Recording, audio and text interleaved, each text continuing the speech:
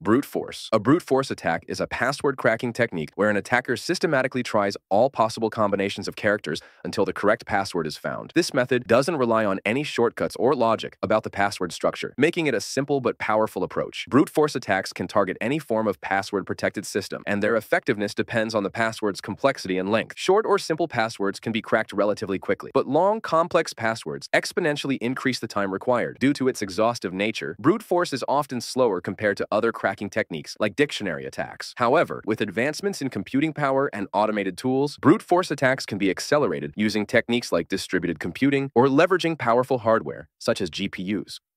Dictionary attack. A dictionary attack uses a precompiled list of common passwords or words from a dictionary to attempt login. Instead of trying every possible combination like in a brute force attack, a dictionary attack takes advantage of users who choose weak or commonly used passwords, such as password 123 or let me in. The attack works by systematically comparing the hashed or plaintext password to entries in the dictionary, drastically speeding up the process when targeting weak passwords. While this method is more efficient than brute force for simple passwords, it becomes ineffective against strong, complex passwords. Dictionary Dictionary attacks are popular because many users tend to pick predictable passwords, making this approach faster and more likely to succeed than more exhaustive techniques.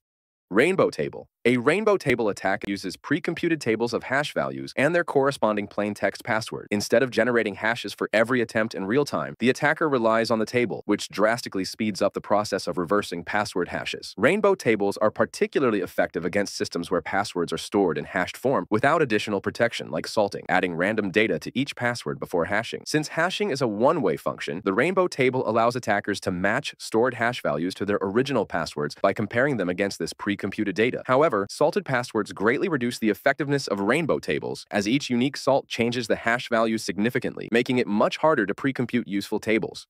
Phishing. Phishing is a social engineering technique where attackers trick users into divulging their passwords or other sensitive information by impersonating trusted entities. Typically, the attacker sends fraudulent emails, text messages, or links to fake websites designed to look like legitimate platforms, e.g., banks, email services. When the user enters their password or credentials into the fake site, the attacker captures the information. Unlike other password cracking methods, phishing does not rely on breaking encryption or guessing passwords, but instead manipulates the user's trust. It's highly effective because it exploits human error, but users can protect themselves by being cautious of unsolicited communications and using two-factor authentication to add an extra layer of security. Keylogging. A keylogger is a tool that records every keystroke made by a user on their computer or device. Keylogging can be achieved through software, malware, or hardware, a physical device attached to the keyboard. The attacker installs the keylogger on the victim's system, either remotely or physically, and waits for them to type in sensitive information. Once captured, the attacker can retrieve the logged data and use it to gain unauthorized access to accounts. This method bypasses the need for password cracking, since the attacker directly obtains the password as its type. Keylogging is particularly dangerous if undetected, as it provides attackers with unencrypted, real real-time access to sensitive information.